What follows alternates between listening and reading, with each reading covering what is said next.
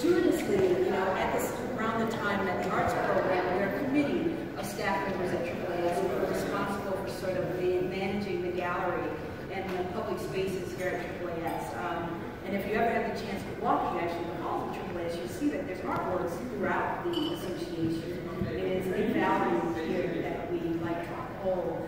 But um, it was around the time of the year where we sit down and we make decisions about what the schedule in the gallery would look like. And so we had quite a few things on our plate, on the table, and I just happened to look down and go, hmm, I think these two artists sort of talk to one another. They don't know it yet, but we're going to make it happen. And so I approached each of them separately, and I introduced them to one another, and I asked for their permission to put on this show, and they graciously um, agreed. And so, thank you very much. Um, I think they both do a good job of uh, sort of walking throughout science and and comparing those things and, and challenging us to question both. And um, that was a, that's what we try to do in the gallery space here at AAAS. Um, I also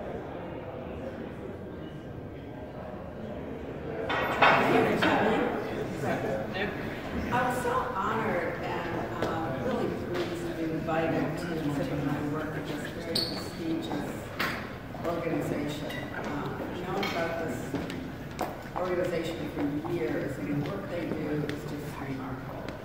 Um, in promoting art on all levels around the world. And I think in these times we need that very much. I want to thank particularly Olga, who actually has a job. She doesn't just hang out with the art world.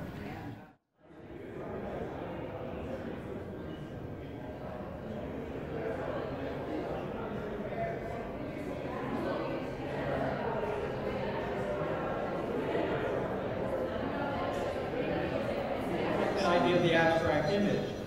And at the time, I had been reading a lot of um, about quantum physics, the popular books, not um, the deep scientific books. But the concepts behind particle physics were just like philosophy, that depending on how you observe a particle, it can be a wave or a, like a photon, it can be a wave or a particle. You can never know with absolute certainty what something is, its position or velocity. So there were so many different concepts in the physics. It's like, well, how do I express this? Because this is what really interests me, because it's not just about the science, it's about our daily lives, how we should not, not assume that we know things for certain. Depending on how we look at things, it means different things. So these concepts were kind of what, what fascinated me and I wanted to go more. And luckily, at the time I started with that and putting in the concept of the physics into the painting itself. First with words, but then with formula. So if you look at the one that's labeled uncertainty, uh, the formula in there is actually Heisenberg's uncertainty principle.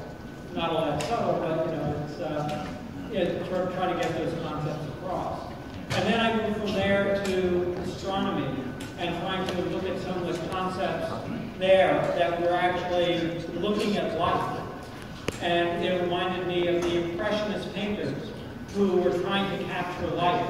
And then when we start looking at the astronomy, that's exactly what we're doing. If you notice also, also the, the, the theme here is duality. So the idea when you look at some of the biology pictures, like the one over there uh, HIV virus, the fact that it can look so beautiful on one level and so harmful on another level gets to that concept of duality that we can look at something that we think is beautiful, but it has other consequences to it. So again, getting to those type of concepts was important. So, um, so even though the um, the images are based on the science, what intrigued me about the science was the concepts behind it. So when I first started, initially I, I was doing uh, landscape and uh, still life painting until one day I came to the realization that the world didn't need another painting of a tree. So I just on one of the paintings I used gold quite a bit.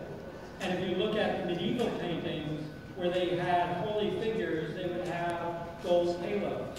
So for me, that was symbolizing science taking over the role of religion as the way to explain things in the world.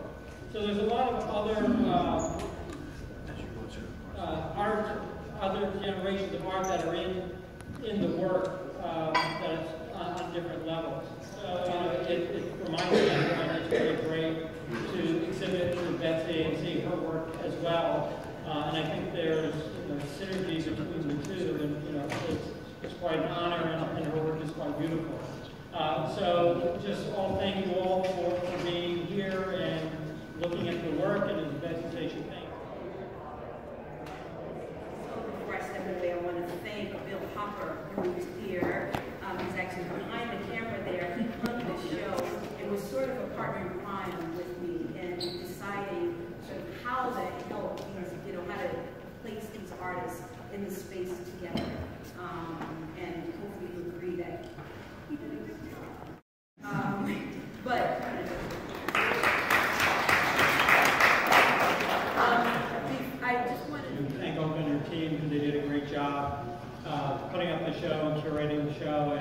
Bill, I want to apologize for all those paper pieces that you had to put up. those are not easy to put up, and uh, you did a great job. And uh, particularly the one, uh, Four Seasons of Dark Matter, I told Billy, the only one who actually was ever hung that correctly, so that was, uh, that was quite good.